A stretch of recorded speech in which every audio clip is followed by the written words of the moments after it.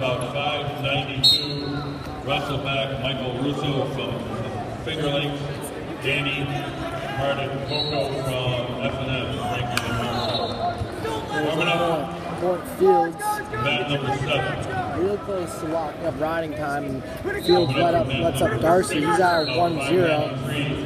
Wrestle back Samuel Golden from Harvard, Peter LePerry from Rutgers, is warming up for mat number six.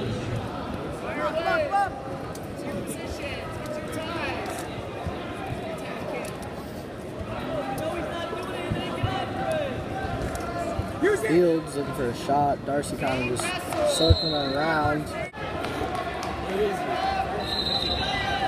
We're trying to wrestle. We're wrestling. Nothing there. Ref calls him out of bounds. Got a little trash talking going on between the coaches here. Something about Princeton's IQ.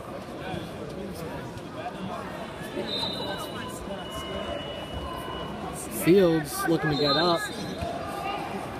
D'Arcy's got a koala crunch going tight.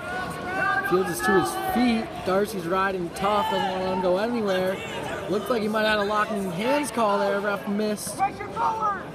Pressure forward.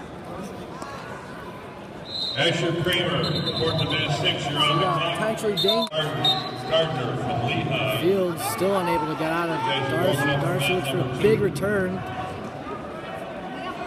Riding Fields real tough right now on top. He's not letting him go anywhere. He's looking to lock up that koala crunch. That's when you come out front and really just squeeze him up top, you know? Get a nice spiral ride going. Fields looking for a reversal here. D'Arcy still technically has control. There's a stall call. Mat number six. D'Arcy drops that leg. He needs to work up. Nothing there. Looking for a count. Doesn't anything. Oh, he does get a two count there. I didn't think the ref, gave him two. Plus, it looks like D'Arcy's locked or has acquired riding time. He hasn't locked it in yet. Short time on the mat. Blue riding time is locked up. D'Arcy wins by decision. 718. 4-0 with riding time. 157. Vincent